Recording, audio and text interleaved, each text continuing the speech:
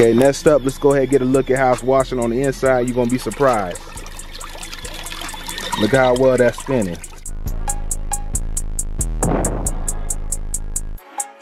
What's going on everybody? Welcome to CLO Ed TV. This is O.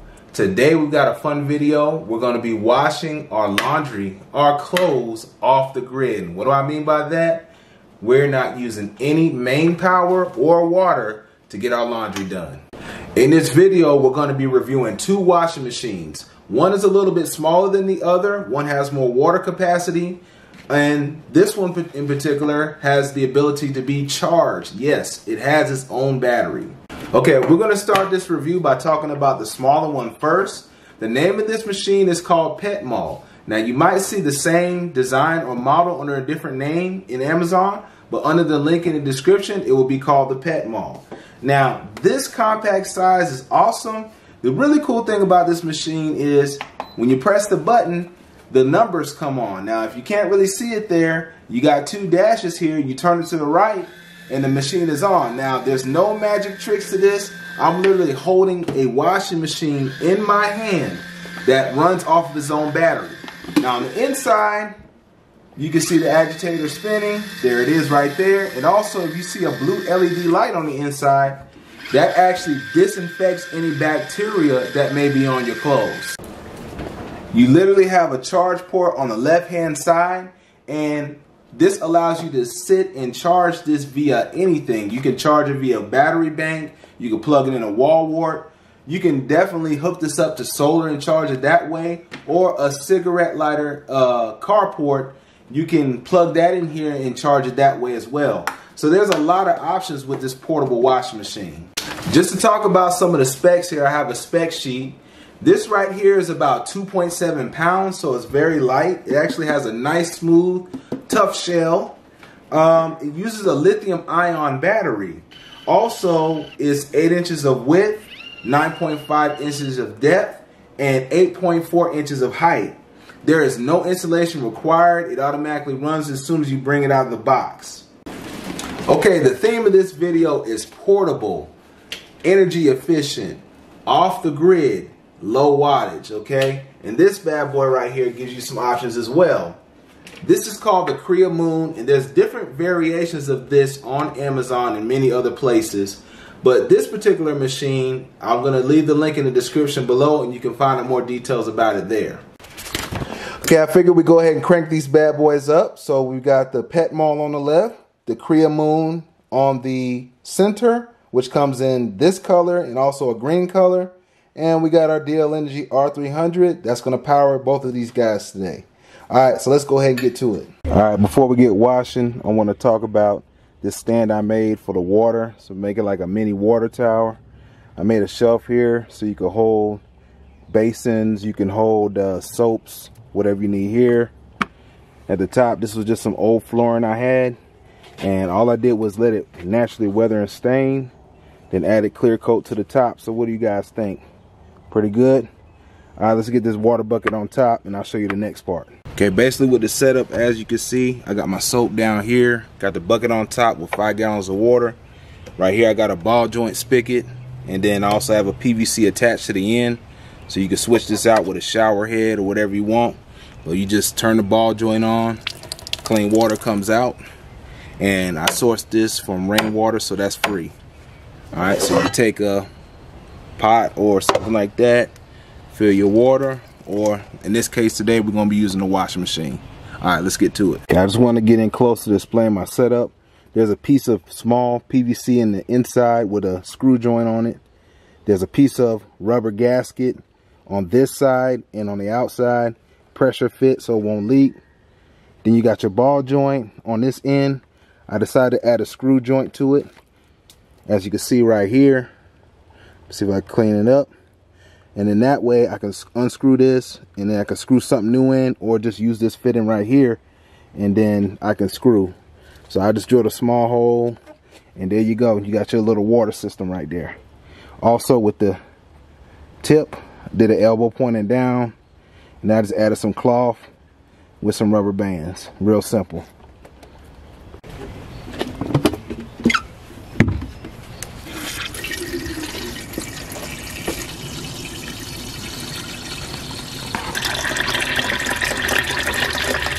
All right, that should be enough water. Okay, for this machine, you can wash uh, three pair of socks, two underwears, two tanks, or you could do one t-shirt. So let me go ahead and get my dirty clothes and we'll put some clothes in here to wash. So I got two tanks. Go ahead and put them in the wash.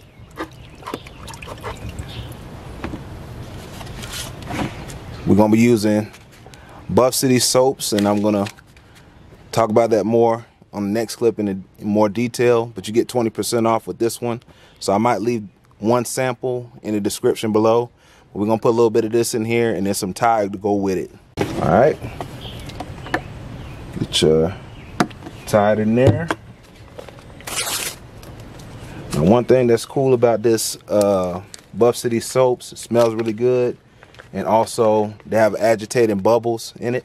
So it makes your clothes smell real nice. So I'm gonna put a few in there. Let me see if I get a close up so you can see it. All right, so I'm gonna dump a little bit more in so you can see how the bubbles activate. And once you put it in, you can start seeing and hearing it.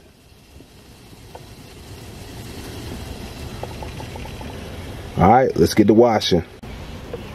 Okay, so all you gotta do with this rechargeable wash machine is press the button one time. Right now it's at 95% charge, but it goes up to 99. And uh, you rotate it to the right, and then it starts to wash. Now, right now it's on five minutes. We can go ahead and set it to about 10 minutes. I like to do 15 minutes. Do 10 minutes first, and then do five minutes. So I'll show you inside what it's looking like. Now you could throw a little small sponge or a ball if you wanted to agitate more, but that's enough for me.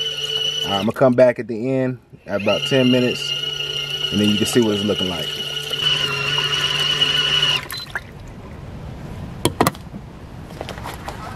Okay, now you heard the beep. You see the double zero, that means the timer's out. So you can just press the button here, long press. That'll turn it off. Let me show you inside. Okay, as you can see, the water's a lot dirtier now. All right, that means it's doing some cleaning there. Now, if you wanted to, the main thing you could do is go ahead and drain it. There's a drain plug in the back, and then you can uh, put the rinse water in, but that will take up a lot of rain and rinse water. I'm gonna show you how I use a separate uh, washing machine for my rinse, and I use this one for my wash. All right, let me show you how I set that up. Okay, now keep in mind you can use any one of these for wash, rinse, or both. You could just use one, but I like to use two. It makes it go faster. Links for both washing machines will be in the description below. All right, Ray, this one works. Comes with a lid. Go ahead, take the lid off now so I can show you. This the wash basin, has rubber on the outside. What you do, you push it down, okay? And now it expands. So this has more capacity than this one. Also a little bit more powerful motor in this one. So make sure that in the back that your plug is plugged in. Otherwise, when you fill it with water, it's just gonna run out. All right, so like I said, I got my setup as before. We're gonna fill this thing up with water. All right, I'm gonna cut back when it's right and full. I just wanna cut to the inside so you can see. You wanna go ahead and fill it up to this dark purple line. That's plenty of water to rinse or wash anything that you wanna wash, all right? So once it gets to the top of the dark purple line, we're gonna take our clothes we wash in the smaller one and then put it in this one. All right, we're almost there on the purple line. All right, let's go ahead and shut it off. All right, let's go ahead and get this thing going. I'm gonna show you how to get it plugged up, get it switched on, and get these clothes rinsed. Okay, the lid has tabs on the outside, and all you do is just snap it right in. Make sure the washing machine is face front. Just go ahead and snap it in.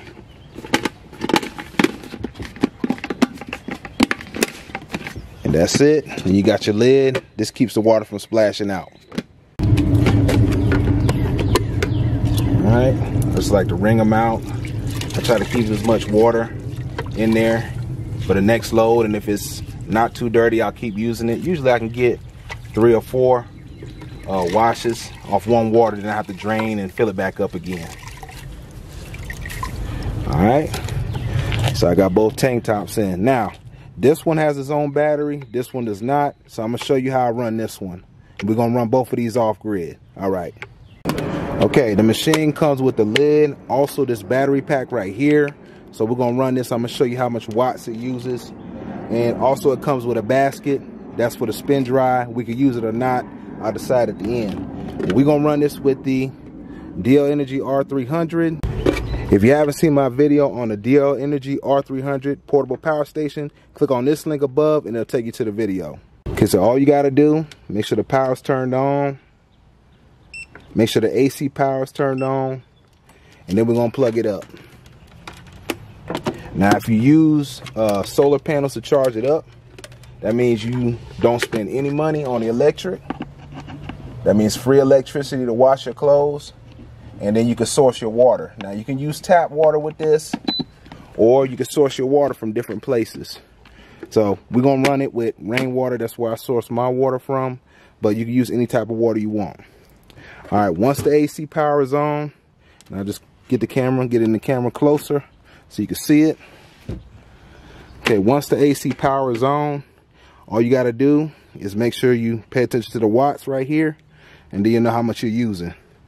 All right, so you come over here, hold the switch. When you hear that beep, it's gonna start washing. And right now, so I get it in close on the camera so you can see it. Okay, it's only using 15 watts. Then it's gonna cut down to zero. So every time that motor kicks on, you're only using 15 watts. And then this is saying you can run this for nine hours and I only got 60% on this battery. So if this was charged at 100, you probably could run this for 15 hours. All right. Okay, next up, let's go ahead and get a look at how it's washing on the inside. You're gonna be surprised. Look how well that's spinning It's agitating the clothes. It's gonna go backwards. And see, this is the perfect setup. Off grid, you're traveling, or you know, camping site, or if you just want to wash your clothes off grid, this is your perfect setup right here. All right, while this load is rinsing, I'm gonna get the machine, the smaller one, and go ahead and start a second load.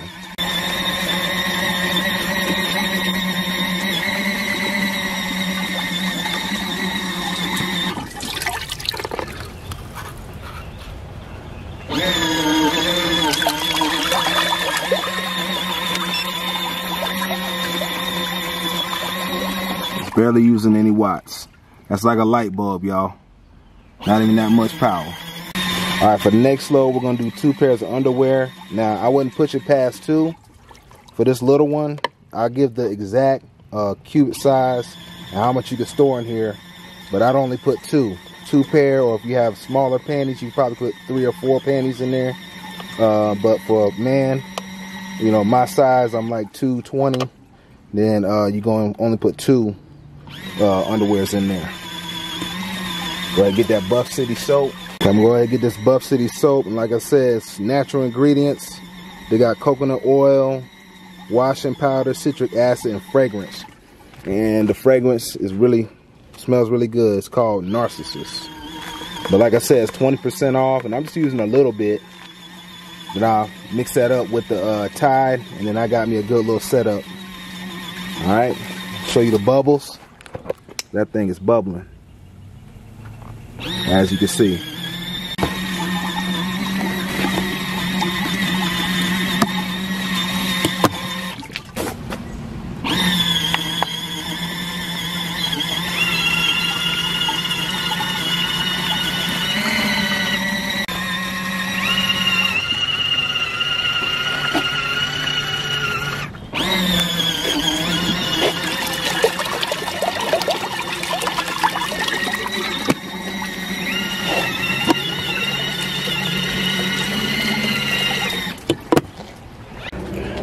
All right, finish wringing these clothes out. I'm gonna show you how I hang them up and dry them and what you could use to hang and dry these clothes with.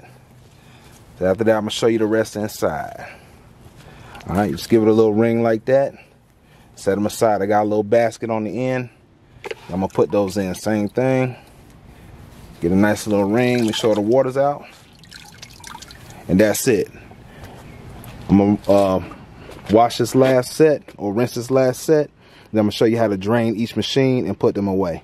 Okay, one thing I didn't show earlier, there's three wash modes with this particular unit. You got 10 minute standard wash, 15 minute soft wash, and two minute uh, spin dry. So we're just gonna go for that rinse again. All right, it lights up blue. Now it's going ahead and doing that wash. As you can see here. All right, after two washes, you can see how dirty the water gets. So you can either wash one more or just go ahead and drain it out. So I'm gonna show you the drain cap in the back. It's a little plug here. You wanna make sure that you pull this part, this tab, and it'll start draining the water. So I'm gonna show that real quick. All right, all you do is take this tab and just pull. You start seeing the water drain out. All you gotta do is wait. I want to show you how dirty it gets inside. Now, if you look here, you can really see all the dirt sediments that collect. And so that's why I really love this wash station because I'm going to show you real quick what you could do with this. Okay, to get this thing nice and clean, all you got to do take it like that. Now, if you plug up the back, you give it a good rinse and just dump it out from the top. That's what I like to do since it's small enough. Put a little water in there. Swoosh it around like that. Make sure you get all the sediments. And just dump it just like that. I'm gonna show you the inside now, how clean it is. All right. So look how much cleaner it is in there. All the dirt's gone. So that's the easiest way to clean it that I found. Rinse it out, then dump it off the top. Okay, so after two washes at 10 minutes apiece, let's go ahead and see where our battery percent is at. So you press it one time, and right now it's at 55%.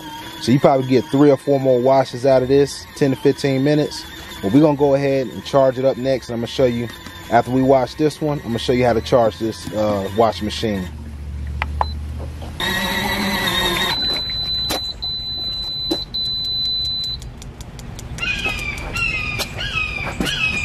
All right, after you hear the beep, it's ready. That means it's finished.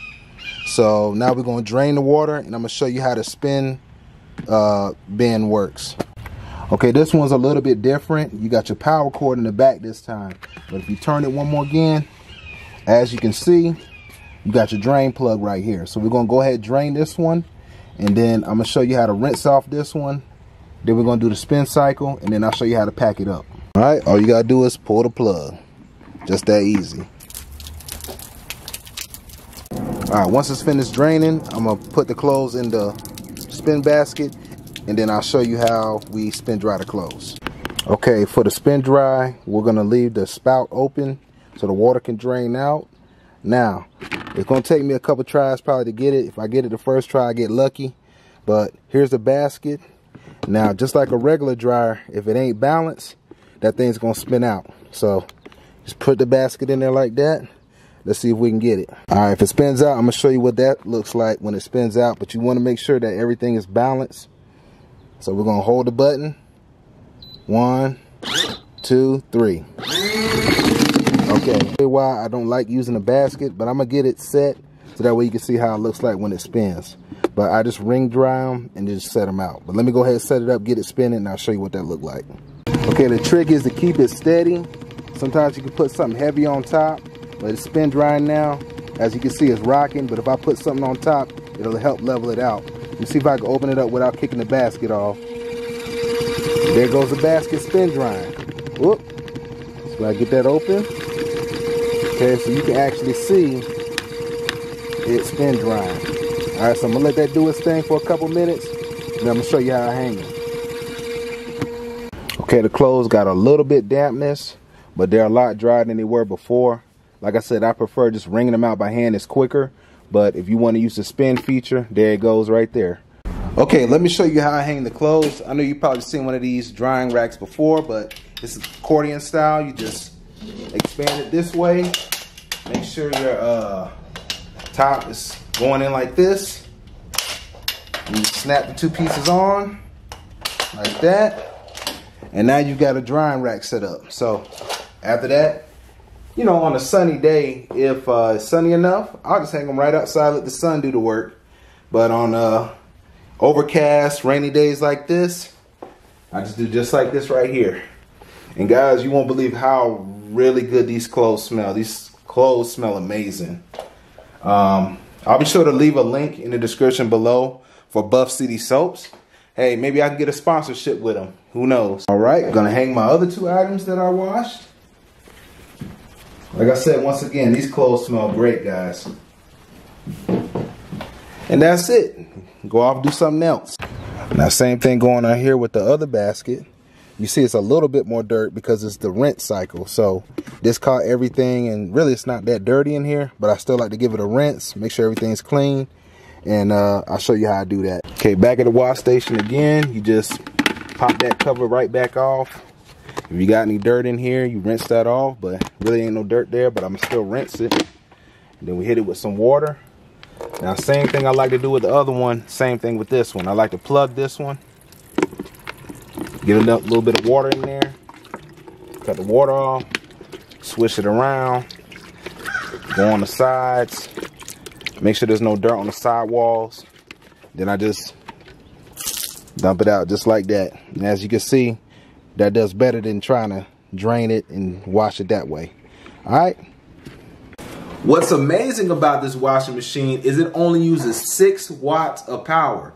And there's light bulbs in your house that don't even use that much power. So this is portable, efficient, has a decent capacity. Machine has a capacity of eight liters. So if you think about that, you know how big a two liter soda bottle is. Um, it actually holds four two liter bottles of water. So that is a lot of capacity in here.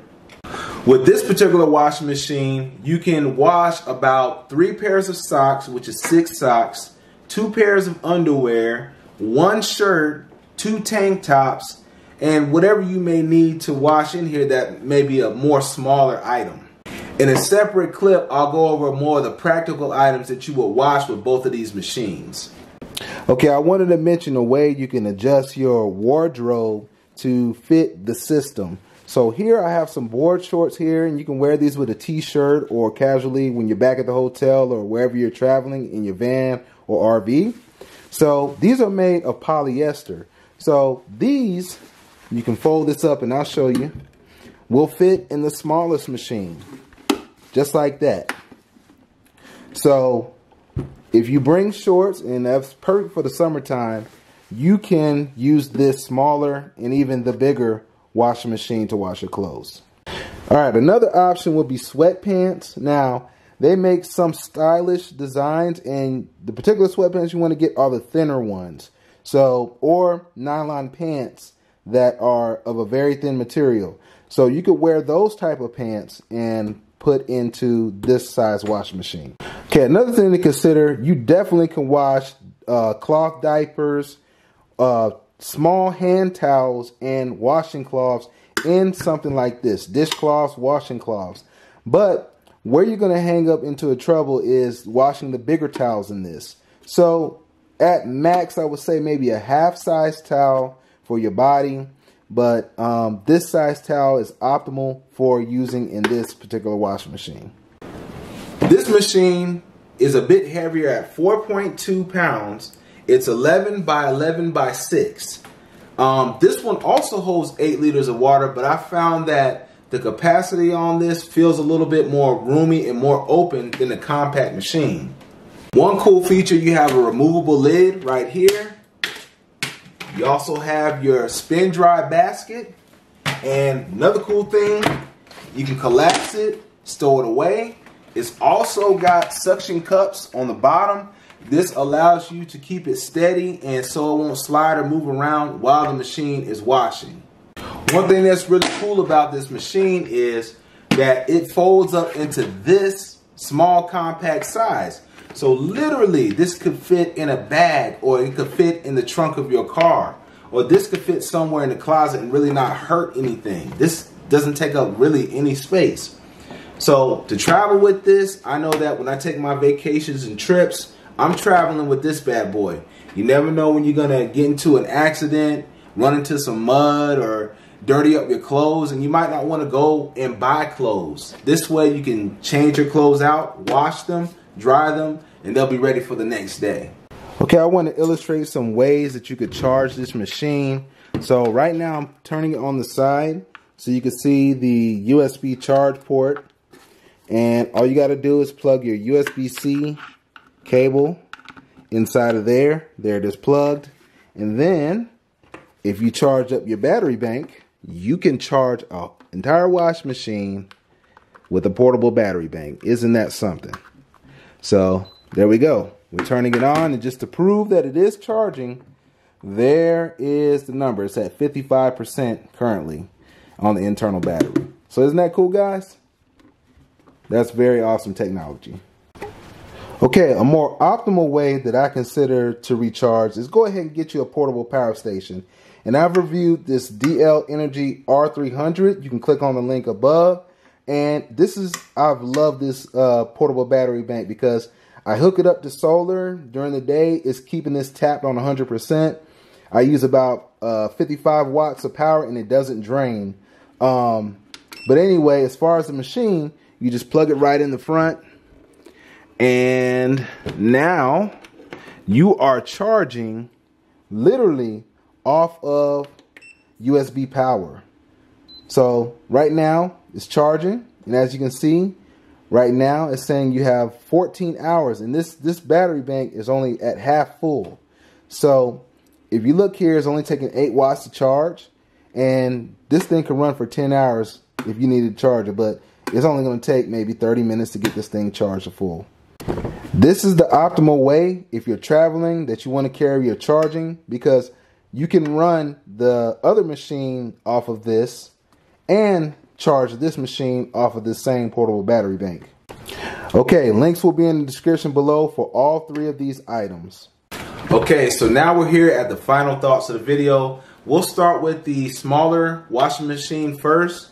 One thing I really like about this machine is you're able to charge this thing. You don't have to be plugged into a wall to use it. I also like that it's a hard shell and it's fixed.